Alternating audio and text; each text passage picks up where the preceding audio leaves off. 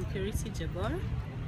I work with the United Disabled Persons of Kenya and we are in the compound where our, where our, where our offices are based.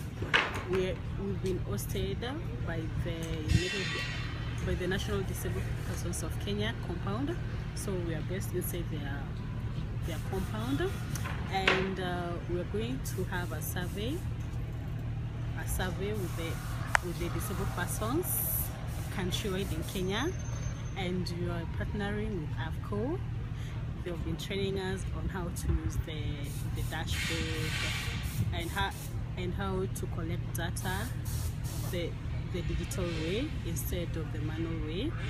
And it's been great.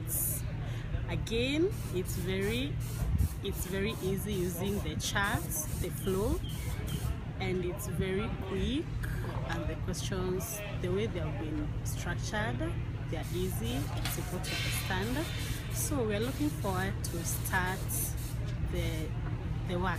Very soon. Thank you.